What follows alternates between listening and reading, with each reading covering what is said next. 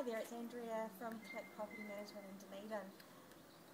We are today going to film some property inspections that we're currently managing. So just routine inspections. We're going to have a uh, selection to see today from students through to family homes. We've actually got a uh, property to go out and visit this afternoon to check up on a dog just to make sure it is registered and legal and that there's nothing uh, damage to the property with regards to the dog being there. We've got another um, sign up for later on this afternoon, so um, it's going to be another interesting day out and about in Dunedin. So um.